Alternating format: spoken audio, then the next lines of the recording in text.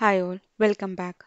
In this video, I will implement PrimeNG icons in an Angular PrimeNG application. For that, after installing PrimeNG in an Angular application, you have to install Prime icons. For that, I will just copy this command and inside your project, you can give the command npm install primeicons and enter. Once you have installed that prime icons, you can go to the package.json and verify whether this has been installed. If you want to add a different version, um, you can add at simple then the version number. Now latest version of the prime icon has been installed in our project.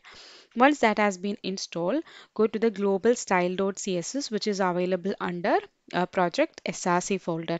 So once go to the style.css file, what you can do you can import the prime icons and the css of that one.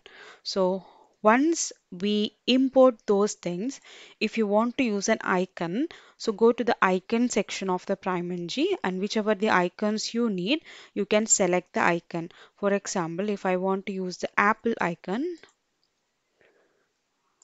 so go to the HTML or wherever you want to use it.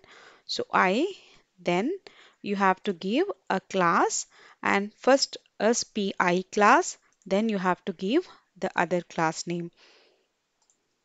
And go to the application. See uh, it is running on 4200 and the apple icon the similar way you can give that. And there will be you can change the size of the icon like see style using the style you can uh, directly change the font size of the icon color of the icon.